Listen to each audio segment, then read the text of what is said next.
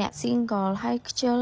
ល្មមល្មមស្ដាប់វីដេអូខ្ញុំនេះហើយប្រហែលជាលែងចង់បានប្តីលែងចង់មានគ្រួសារបែកផ្ទះអីហើយព្រោះជីវិតក្រោយពីយើងរៀបការហើយវាអត់ happy ending ដូចមុននឹងយើងរៀបការទេអ្នកខ្លះសប្បាយអសូម្បីតែខ្ញុំក៏ធ្លាប់ឆ្លងកាត់អារម្មណ៍នឹងដែរលក្ខណៈថាពេលយើងរៀបចំកម្មវិធីមង្គលការគឺយើងសប្បាយចិត្តរំជើបរំជួលឡាតែយើងអត់ដឹងថាអាជីវិតក្រោយរៀបការយើងត្រូវឆ្លងកាត់អីខ្លះតែពេលរៀបការហើយបានដឹងថាអូ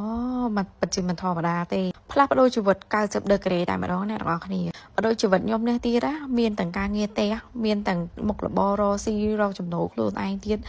គឺកាន់តែច្រើនពេលវេលាយើងគឺថាមួយថ្ងៃមួយថ្ងៃគឺរវល់មែនតើចឹងឥឡូវមកចូលសាច់រឿងយើងខ្ញុំចង់ឲ្យអ្នកនរគ្នាស្គាល់ខ្ញុំសិនខ្ញុំគឺជាកូនបើចាដឹងហើយកូនបើគឺកូនកំពូលខ្ជិលការងារទេអង្ការនៅជាមួយម៉ាក់ស្អីក៏ខ្ញុំមិនដែលធ្វើស្អីក៏ខ្ញុំមិនដែលប៉ះសូម្បីតែម្ហូបឡើងផ្សារមិនដែលឡើងមិនដែលទិញមិនដែលដឹងគេធ្វើរបៀបម៉េចទេអើយស្អីក៏ខ្ញុំមិនដឹងស្អីក៏ខ្ញុំមិនចេះគ្រៀបការមកនេះគឺតលងមូលហ្មងជាពិសេសខ្លាំងត្រង់ថាការភ្លាមបែកផ្ទះមកនៅទៅពីអ្នកភ្លាមទៀតណា Oh my god មួយឆ្នាំដំបូងខ្ញុំសឹងថារត់ចោលប្តីខ្ញុំសាមសាហើយប្តីខ្ញុំមកគឺជាមនុស្សម្នាក់ដែលជួយការងារតែខ្ញុំរហូតទោះបីជាគាត់មិនបានជួយអាការងារកប៉ិកកប៉ុកទុយតែរាល់ថ្ងៃទេប៉ុន្តែគាត់ជួយអាការងារធំធំអីផ្សេងផ្សេងរៀបចំតែអីគឺប្តីខ្ញុំទាំងអស់ប៉ុន្តែខ្ញុំគឺជាមនុស្សដែលខ្ជិលពីដើមអញ្ចឹងទៅវាផ្លាស់ប្ដូរលក្ខណៈថាចរិតមួយទៅចរិតមួយវាភ្លាមភ្លាមវាអត់កើតប៉ុន្តែម្ដងសប្តាហ៍ថ្ងៃពួកខ្ញុំការបាន3ឆ្នាំជាងហើយចឹងឥឡូវខ្ញុំចាប់ផ្ដើមចេះធ្វើម្ហូបខ្ញុំចាប់ផ្ដើមចេះការងារទេខ្ញុំចាប់ផ្ដើមធ្វើវារៀងជាប់លាប់ប៉ុន្តែខ្ញុំមិនមែនតន់ជាស្ត្រីមេផ្ទះល្អ100%ទេខ្ញុំអាចធ្វើទៅតាមកម្លាំងនៃខ្ញុំអាចធ្វើទៅបាន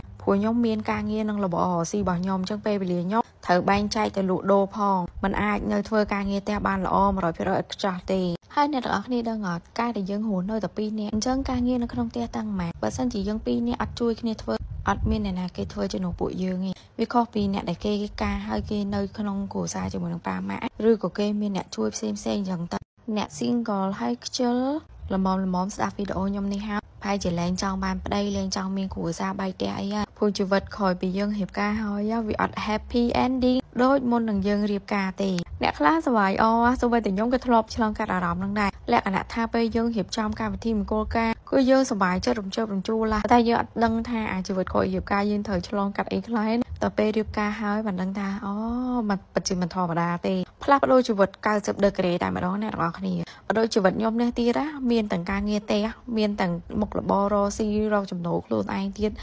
គឺកាន់តែច្រើនពេលវេលាយើងគឺថាមួយថ្ងៃមួយថ្ងៃគឺរវល់មែនតើចឹងឥឡូវមកចូលសាច់រឿងយើងខ្ញុំចង់ឲ្យអ្នកនរគ្នាស្គាល់ខ្ញុំសិនខ្ញុំគឺជាកូនបើចាដឹងហើយកូនបើគឺកូនកំពូលខ្ជិលការងារទេអង្ការនៅជាមួយម៉ាក់ស្អីក៏ខ្ញុំមិនដែលធ្វើស្អីក៏ខ្ញុំមិនដែលប៉ះសូម្បីតែម្ហូបឡើងផ្សារមិនដែលឡើងមិនដែលទិញមិនដែលដឹងគេធ្វើរបៀបម៉េចទេអើយស្អីក៏ខ្ញុំមិនដឹងស្អីក៏ខ្ញុំមិនចេះគ្រៀបការមកនេះគឺតលងមូលហ្មងជាពិសេសខ្លាំងត្រង់ថាការ